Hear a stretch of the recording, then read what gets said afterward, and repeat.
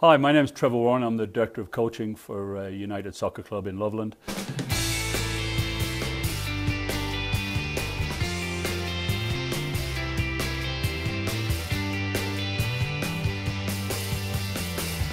My background, um, currently um, I've been coaching at Colorado State University with the women's program. I've been doing that for the last uh, three seasons.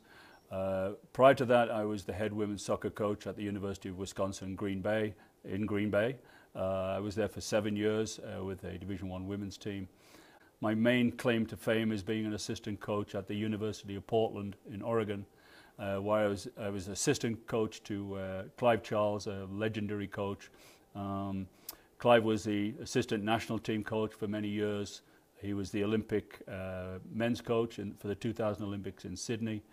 Uh, I was Clive's assistant for both the men and the women at the University of Portland.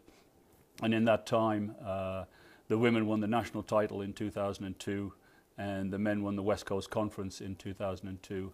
And among the players uh, on the women's side was Christine Sinclair, uh, who has been the captain of Canada for many, many years and is a legendary goal scorer.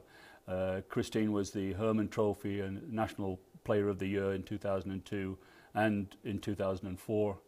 Uh, I also got to coach uh, Heath Pearce, who played for the men's national team for many years, Luis uh, Robles, who is the goalkeeper for New York Red Bulls, uh, amongst many other players. Um, prior to that, I coached uh, back a, a, couple of Division Two schools in uh, Pennsylvania and took teams to the NCAA Final Four in Division Two.